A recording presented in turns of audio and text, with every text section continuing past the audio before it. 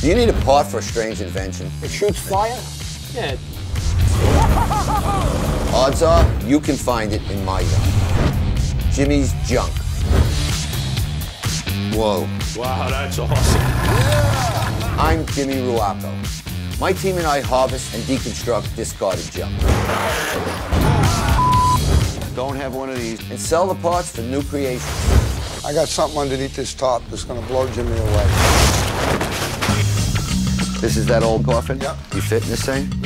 yeah.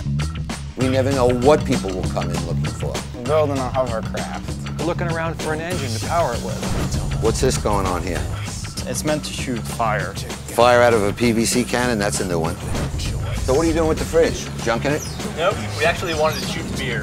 This creation is why this yard's so much fun. Fire.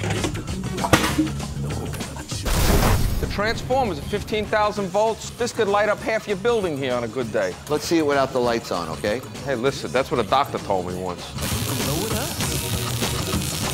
We like interesting inventions here at the junkyard. It's a lawnmower on steroids.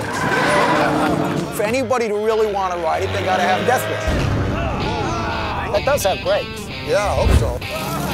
And the crazier the better. It's gonna be a blast. We're like real life MacGyvers. Oh, you think I'm booby trapped here? Fire. You're in Long Island now, not Fantasy Island, okay? Oh my God. One man's junk, What do you want to do? You coming in? I'm gonna kill you. Is another man's job.